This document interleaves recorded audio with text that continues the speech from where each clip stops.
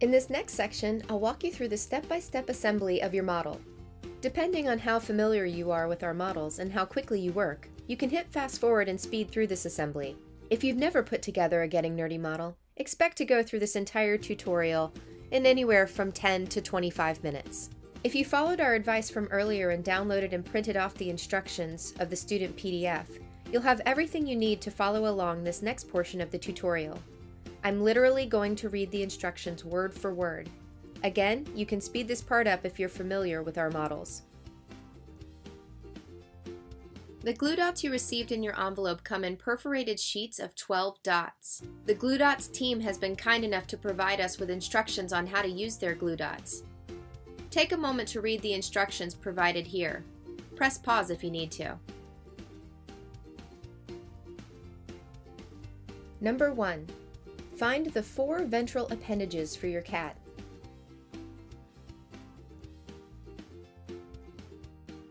Apply glue to the back of each ventral appendage, A1, A2, A3, and A4, and align it to the back of the matching dorsal appendage.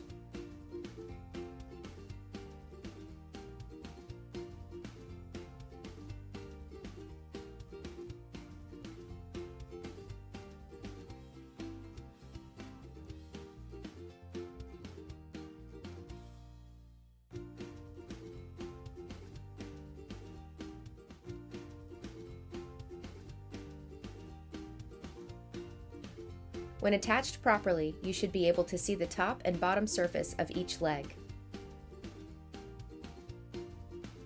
In cases where you see a little bit of the vinyl has torn along the edges of the model, you can always use a hobby knife or a pair of scissors to clean that up.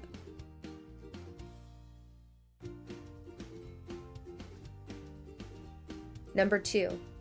Apply glue to the back of the tabs and attach the forelimb and hind limb skin flaps by tabs A12 and A42 over the exposed muscles on A1 and A4. You should be able to lift the flaps and see the muscles beneath.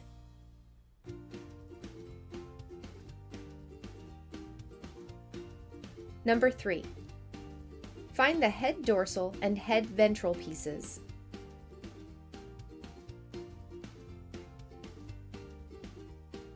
Apply glue to the back of one of the pieces and align them front to back so that you can see both the top of the head and the inside of the mouth.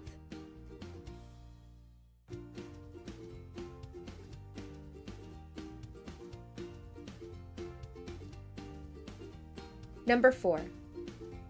Find the dorsal head muscles.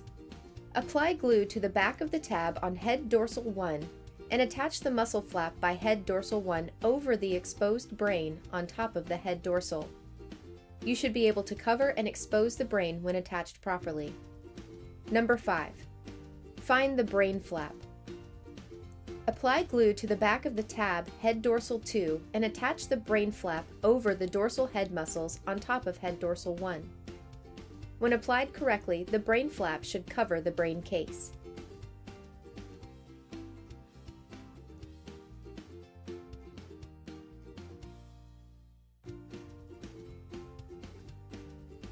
Number 6. Find the internal jaw and ventral jaw vessels. Apply glue to the back of the internal jaw and align it to the back of ventral jaw vessels. When attached properly, you should be able to see both the vessels of the underside of the neck and the inside of the mouth. Number 7. Find the ventral jaw muscles.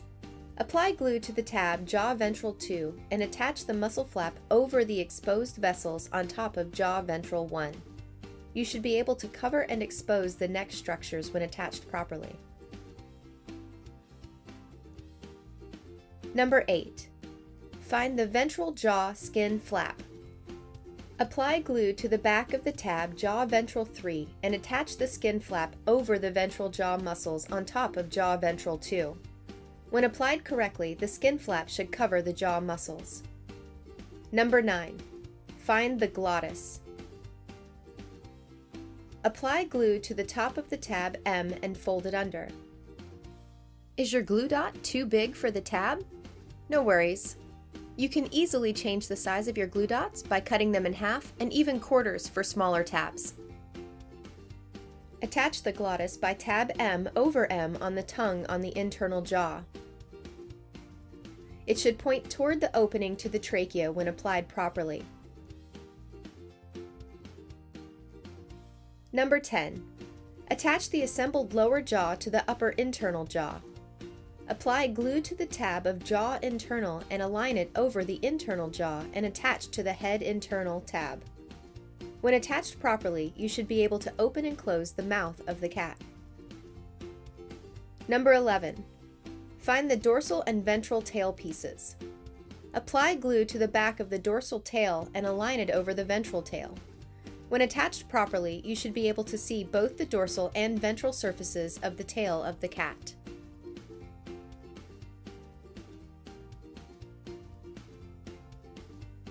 Number 12. Find the dorsal torso of your cat. On the dorsal surface, locate the dotted lines around the edges that ask you to insert the assembled head, tail, and appendages. Turn the dorsal torso over and apply glue to those areas of the torso. Place each assembled structure on the appropriate place, paying attention to the placement of the ventral and dorsal surfaces.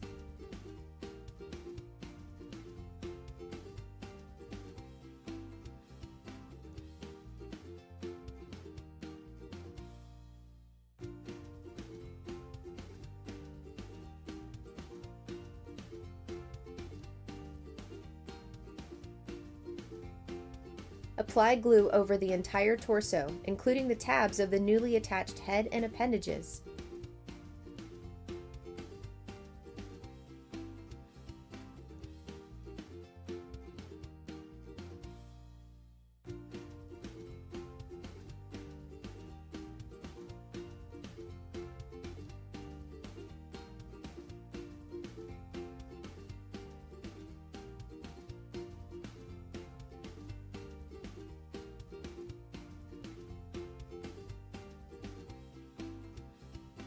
Find the ventral torso.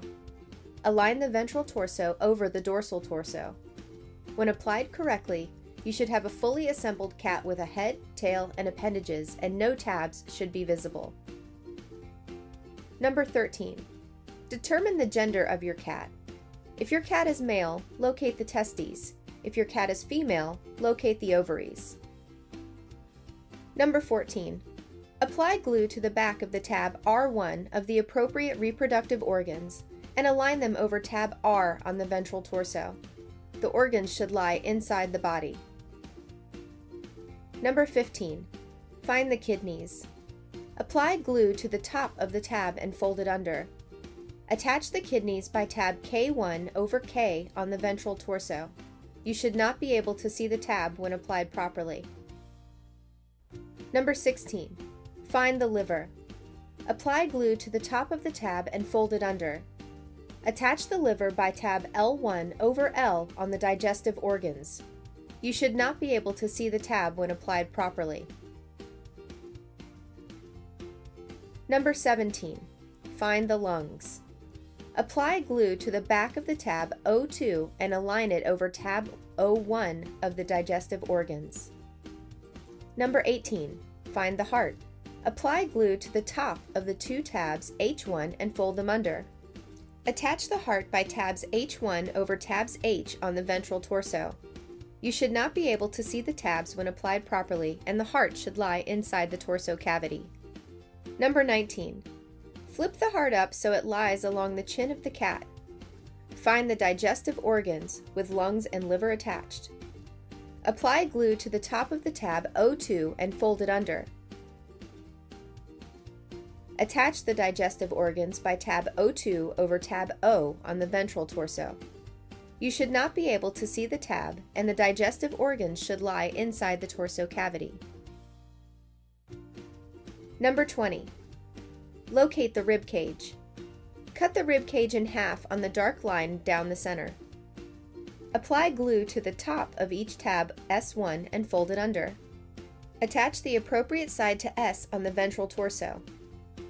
You should not be able to see the tabs, and you should be able to open and close the rib cage to view the organs underneath when attached properly. Number 21. Locate the external skin, deep, and superficial muscles.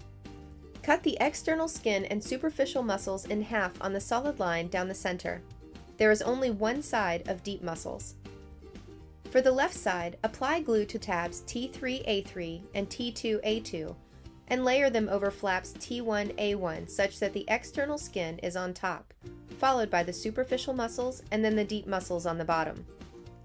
For the right side, apply glue to tabs T2A2 and attach them over T1A1. Locate the abdominal muscle flap. Apply glue to the back of the tab AM1 and align it over tab AM on the deep muscle flap. You should be able to lift the flap and see the transverse abdominal muscles underneath.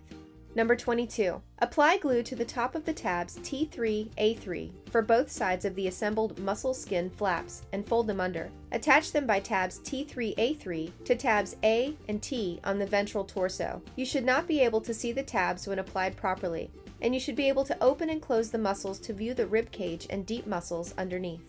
Number 23. If your cat is male, find the external skin flap with the penis and scrotum. If your cat is female, find the external skin flap with the urogenital aperture and vulva. Apply glue to the top of the tabs R2 of the appropriate external reproductive organ and fold it under. Align the tab over tab R1 of the internal reproductive organs. You should not be able to see the tab, and the external reproductive organs should lie over the closed skin flaps. Voila! Your cat model is complete. You can use this as a study tool to prepare for your exploration or as a virtual dissection in place of the real thing. It's getting